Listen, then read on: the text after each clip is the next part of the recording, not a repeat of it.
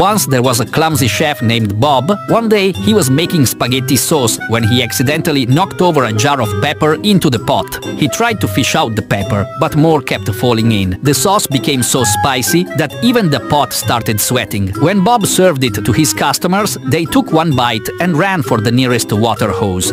From that day on, Bob's restaurant became famous not for its delicious food, but for its fiery spaghetti that came with a disclaimer, beware of the flaming spaghetti.